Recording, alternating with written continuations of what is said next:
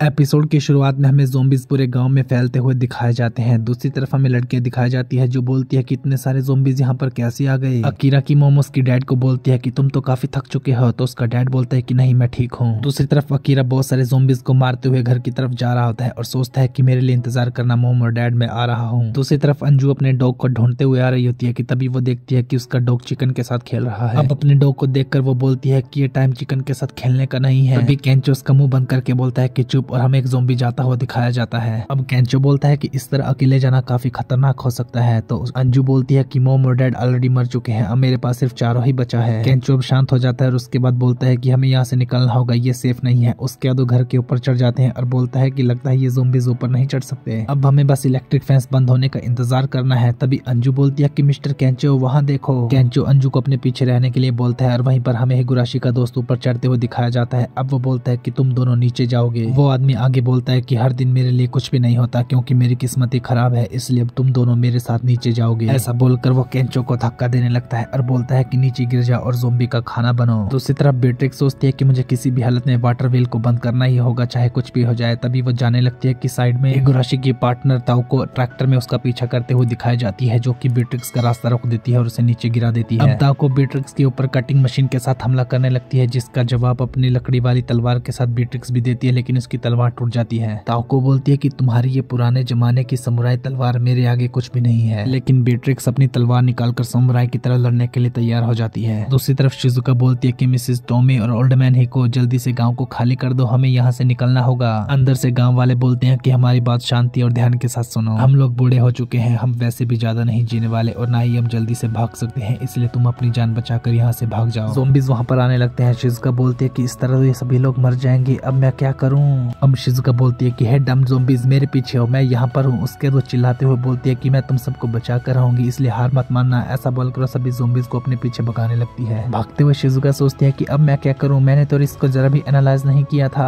अब झाड़ियों में से गुराशी का दोस्त निकलता है, जो की शिजुका को भागते हुए देख रहा होता है। अब अकीरा का डैड हमें दरवाज़ा पकड़ा हुआ दिखाया जाता है। तभी लड़कियाँ बोलती है की, दरवाज़ा ज़्यादा देर नहीं टिकने वाला। अब एक जोम्बी दरवाज़ा तोड़कर अंदर जाने ही लगता है की तभी अकीरा वहाँ आकर सभी जोम्बिस को मारने लगता है। अब अकीरा चिल्लाते हुए बोलता है की मैंने अभी तक अपने पेरेंट्स को पैसे नहीं भेजे हैं, ना ही मैंने उन्हें ट्रिप पर लेकर गया हूँ, और ना ही मैंने अभी तक शादी के लिए कोई लड़की ढूंढी है जो कि मेरे पेरेंट्स को ग्रैंड किड्स दे सके। और अपने पेरेंट्स की कब्र में ये सारे दुख मैं नहीं मनाना चाहता, इसीलिए मैं हर हालत में उन्हें बचा कर रहूँगा। तभी अकीरा के डैड अकीरा को पकड़कर अंदर खींचते हैं और बोलते हैं कि तुम हमें रिपे करना चाहते हो तो अपनी पेरेंट्स की नज़रों के आगे मत बढ़ो। अपनी मोम का ख्याल रखना, ऐसा बोलकर वो दरवाज़ा बाहर से बंद कर देते हैं और अकीरा को अंदर कैद कर देते हैं। अब हमें हिगुराशी के दोस्त कीरा शुगी की स्टोरी बताई जाती है, जिसमें की वो बार में ड्रिंक करते हुए बोलता है की मेरा भी घर जाने का बिल्कुल मन नहीं है। आगे वो अपनी स्टोरी बताता है कि शायद मेरे पास उस टाइम कोई चॉइस नहीं थी। मैं भी हर किसी की तरह जब मेरी नई शादी हुई थी, मैं एक हैप्पी होम चाहता था। लेकिन इससे पहले कि मुझे रियलाइज़ होता, वो मेरा घर कहलाने के लायक नहीं रहा। उसके बाद मैंने घर जाना कम कर दिया और अपना टाइम बाहर ही व्यतीत करना शुरू कर दिया। मेरी कार के अंदर ही मुझे सबसे ज़्यादा रिलैक्स महसूस होता था। मेरी वाइफ के साथ मेरा रिलेशन भी धीरे धीरे खराब होता रहा। मेरे अंदर एनर्जी ही नहीं बची थी कि मैं उसे सुधार सकूँ। मैं सोचता था कि मैं इतनी मेहनत क्यों करता हूँ? वो भी उस फैमिली के लिए जो कि मुझे प्यार ही नहीं करती। मेरी वाइफ बहुत बड़ी विज थी और ये सब मेरे साथ इसलिए हुआ क्योंकि मेरी किस्मत बहुत ही ज़्यादा खराब थी। ये सब वो कैंचो को बोलता है। कैंचो बोलता है कि अपनी बकवास बंद करो। दूसरी तरफ़ शिजुका झाड़ियों में छुपकर जोम्बी से बच जाती है। तभी हिगुराशी का दोस्त वहाँ कर बोलता है कि मैंने तुम्हें ढूंढ लिया। वो आगे बोलते है की मैं और एक लड़की, वो भी इस तरह के प्लेस में बिल्कुल अकेले है। मैं कितना लकी हूँ। शिजुका बोलती है की क्या मतलब तुम्हारा? लड़का बोलता है की मेरा बहुत टाइम से मन था एक लड़की के गले में अपनी जीप डालने का। यह सुनकर शिजुका बोलती है, क्या? और डर के मारे भागते हुए बोलती है की ये तो जोम्बी से भी खतरनाक है। वो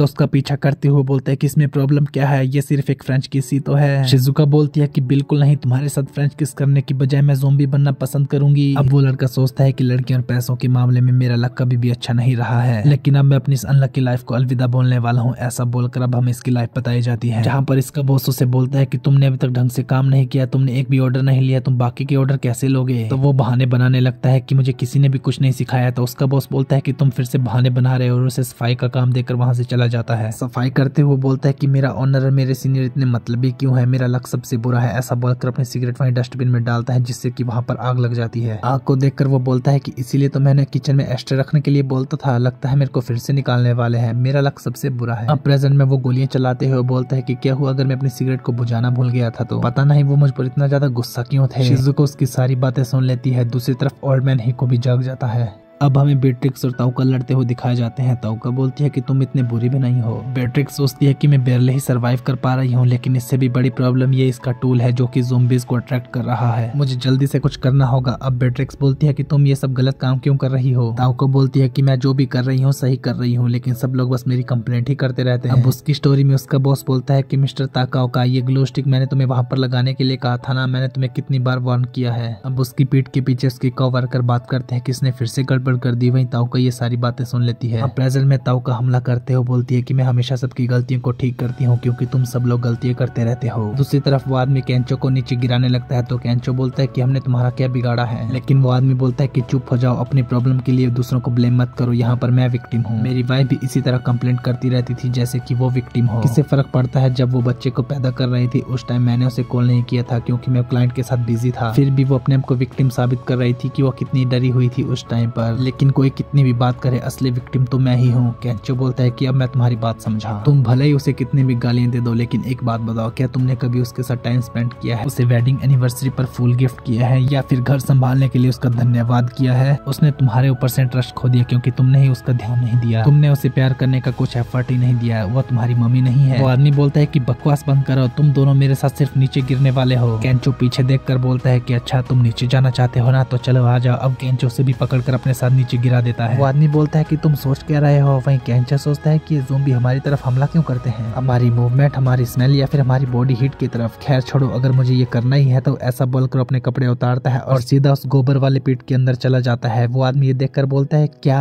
अब सभी जोम्बीज उस आदमी का पीछा करने लगते हैं वहाँ से चले जाते हैं। कैंचो बाहर निकल बोलता है की अगर तुमने सीज पीट को चुना था तो तुम भी जोम्बी बनने से बच सकते थे। अंजू बोलती है की, बिना नहाए मेरे पास मत आना। दूसरी तरफ़ ही को जाकर शिजुका के बारे में पूछते हुए बोलता है कि अकेमी कहाँ गई? गाँव वाले बताते हैं कि वो जोम्बिस को अपने पीछे ले गई ताकि हमें बचा सके। हिको बोलते हैं कि अच्छा तो तुम सब लोग यहाँ पर क्या कर रहे हो? गाँव वाले बोलते हैं कि हम लोग तो बूढ़े हो गए हैं ना, हम क्या कर सकते हैं? हिको ने मोटिवेट करते हुए बोलता है, क्या तुम भूल गए कि हम कितना कुछ सहकर आज यहाँ पर खड़े हुए हैं और आगे भी इसी तरह खड़े रहेंगे, चाहे कोई भी आफत हमारे आगे क्यों ना आ जाए? तो फिर इन जोम्बिस से कौन डरता है? वहीं पर शिजुका उसे बोलती है कि, हे, तुम्हें हाइपर फोकलाइजेशन थ्योरी के बारे में पता है, ये थ्योरी लक को डिफाइन करती है कि जितना बड़ा तुम्हारा लक्ष्य होगा या फिर काम करने का स्कोप होगा उतना ही बड़ा तुम्हारा लक होगा। वो लड़का बोलता है कि फ़िलहाल तुम दिखा रही हो कि तुम कितने स्मार्ट हो लेकिन इन सबसे किसे फ़र्क पड़ता है? इस मोमेंट पर तो सबसे लकी मैं हूँ। वो शिजुका के ऊपर गन रखकर बोलता है कि सबसे अनलकी तुम। तभी दूर से हेको उसके ऊपर गोली चलाता है जिससे कि उसकी गन दूर गिर जाती है। शिजुका उसे देखकर बोलती है कि ओल्ड मैन हेको तुम सचमुच गाँव के सबसे बड़े हंटर हो। लेकिन वो लड़का फिर से शिजुका के ऊपर चढ़ने लगता है और बोलता है की बूढ़े आदमी से किसे फ़र्क पड़ता है? ये सिर्फ़ एक लकी शॉट था। तभी और गाँव वाले भी शिजुका को बचाने के लिए उसके आगे आ जाते हैं। ये देखकर वो बोलते हैं कि ये सब क्या है?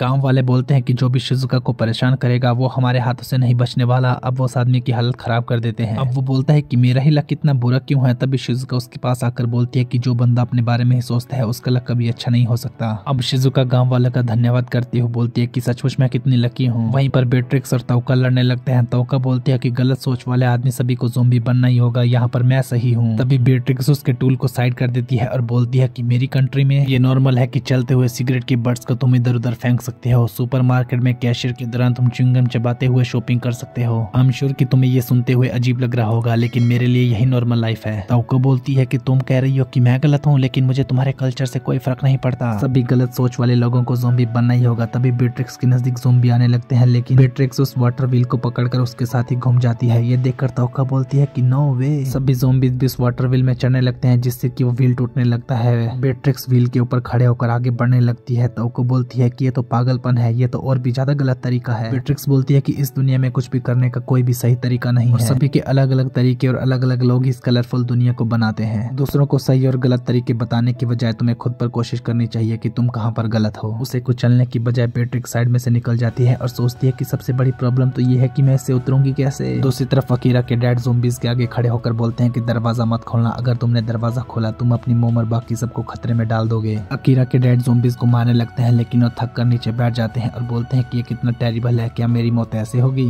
तभी हिगुराशी अकीरा के डैड को पकड़ता है ऊपर को खींच लेता है। अकीरा बोलता है कि, हिगुराशी, तुमने मेरे डैड को क्यों बचाया? हिगुराशी बोलता है कि, तुम काफ़ी टफ हो, फिर मैं तुम्हें जोम्बी कैसे बनाऊँगा? इसीलिए मैंने कुछ सोचा तो फिर अगर तुम नहीं चाहते कि मैं तुम्हारे डैड को जोम्बी के आगे फेंकू तो बाहर निकलो और जोम्बी बनो तुम अपने पेरेंट्स को रिपे करना चाहते हो ना तो बाहर और दिखाओ अपने डैड को कि तुम कितने अच्छे सन हो। Okay guys thank you so much for watching यही था आज का एपिसोड आई होप आपको ये वीडियो पसंद आई होगी। अगर आपको ये वीडियो पसंद पसंद आई है तो प्लीज़ मेरी वीडियो को लाइक, शेयर और मेरे चैनल को सब्सक्राइब करें। मिलते हैं नेक्स्ट एपिसोड के साथ, तब तक के लिए बाय बाय